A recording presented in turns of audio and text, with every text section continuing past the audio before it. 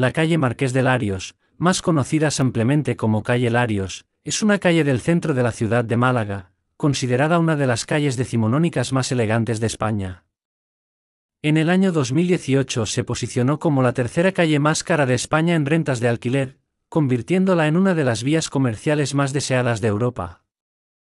El 14 de diciembre de 2002 fue inaugurada su peatonalización, dando comienzo el profundo plan de rehabilitación y revitalización del centro histórico de Málaga.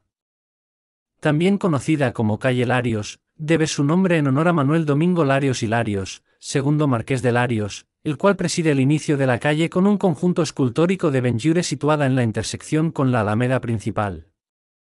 Historia El primer proyecto para la apertura de calle Marqués de Larios fue realizado por el ingeniero José María de Sancha, aunque fue más tarde modificado.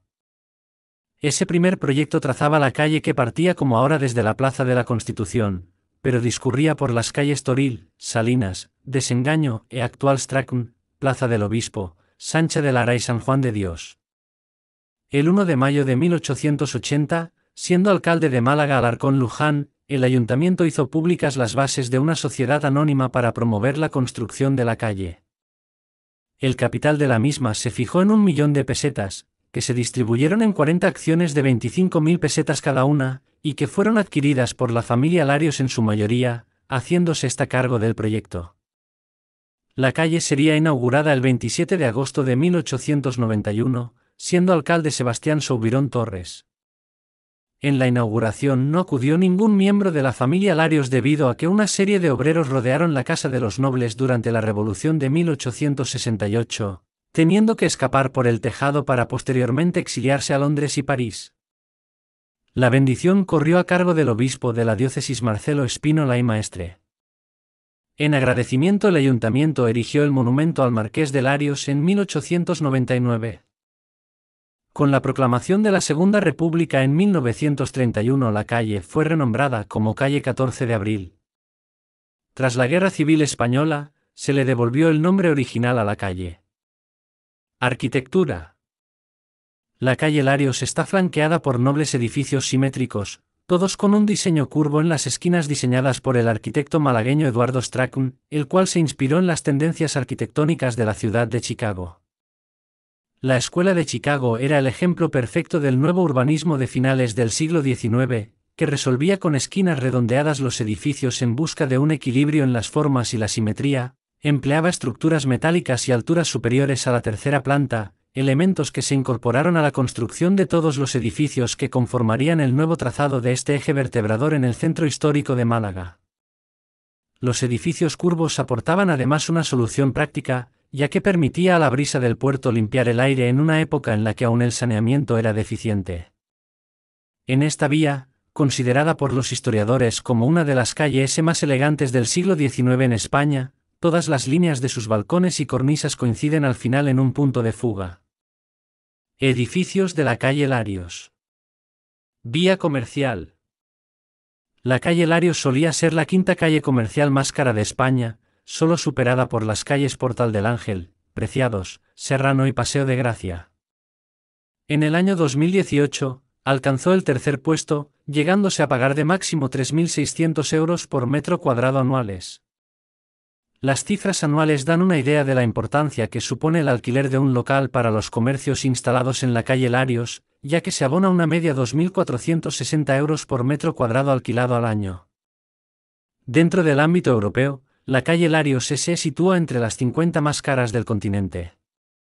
El comercio local afectado por la expiración del A decreto Boyer A tuvo que desplazarse en gran parte a otras calles del centro histórico en el año 2016, debido a que vencieron los contratos de renta antigua, produciéndose un incremento en los precios de alquiler de hasta un 1000%, costes que en su mayoría solo han podido asumir las marcas franquiciadas. La mitad de los inmuebles de la calle pertenecían a la marquesa de Paul, que actualmente gestiona el grupo Salsa Patrimonio propiedad de los descendientes de la familia Larios y la otra mitad se la reparten los descendientes del empresario José Quesada que optaron por no desprenderse de ningún edificio. Ambos en conjunto poseen el 90% de las propiedades y las ofrecen a las grandes firmas de moda en régimen de alquiler, lo que les aporta rentas superiores a los 20.000 euros por inmueble. La familia Quesada tiene en propiedad el Hotel Larios, que se ubica en la esquina de oro que da a la Plaza de la Constitución, gestionado en conjunto con la cadena hotelera Rum Mate. En Navidad la calle Larios destaca por sus cuidadas e impresivas iluminaciones, que la han posicionado como una de las calles más espectaculares de España en este periodo, convirtiéndose en el centro neurálgico de las compras navideñas. El coste por alumbrado en Málaga especializado en tecnología LED es el segundo más costoso de España alcanzando algunos años los 900.000 euros y el primero por habitante superando en presupuesto a la ciudad de Barcelona que la triplica en población y esto obedece a un efecto llamada para incrementar las ventas y conseguir altas cifras turísticas en la ciudad. El alumbrado se recicla para el carnaval, lo que lo mantiene instalado cerca de cuatro meses. Exposiciones y festividades. La calle Larios ha acogido exposiciones públicas relacionadas con el arte, la escultura o la labor social. Entre estas destaca la exposición de obras de Manolo Valdés, de Baltasar Lobo o de Hugo Stroudán, entre ellas El Pensador. También muestra exposiciones relacionadas con el cine, ya que es un lugar principal en el Festival de Cine de Málaga, fecha en la que la calle es alfombrada. Feria de agosto. En agosto la calle se convierte en el eje vertebrador de la Feria de Día de Málaga. Pasarela Larios Málaga Fashion Week. En septiembre la calle acoge la A Pasarela Larios Málaga Fashion Week, a que en el año 2019 celebró la novena edición. Consiste en la pasarela de alta costura más larga de Europa, e 350 metros, donde diseñadores y firmas de moda presentan sus colecciones durante dos días a la que asisten 15.000 personas al día. Semana Santa.